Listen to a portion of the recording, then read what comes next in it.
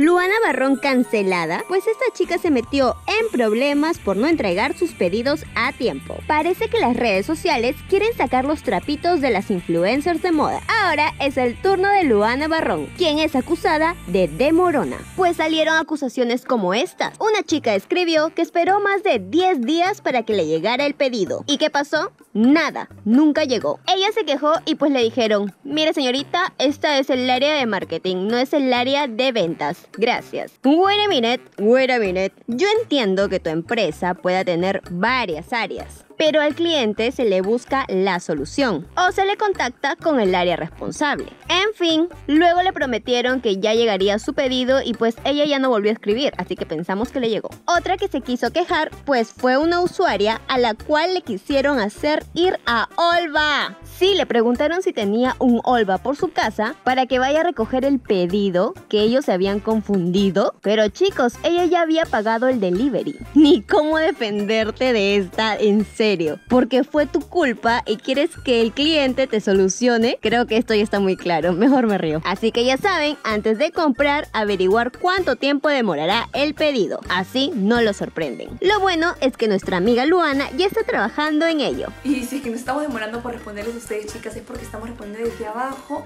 viendo todas las que han depositado para anotarlas en la lista de envíos para la semana del 8 de julio. Así que tranquilas, chicas, espero su comprensión. Por otra parte, también la acusan de copiar fotos de Instagram. ¡Ay! Yo sé que a veces no hay tiempo de tomarte una foto y cumplir con publicar, pero chica, cita la frase, edita un poco la foto de Pinterest, pon tu sello, haz tuya la imagen, en fin, es tu marca personal.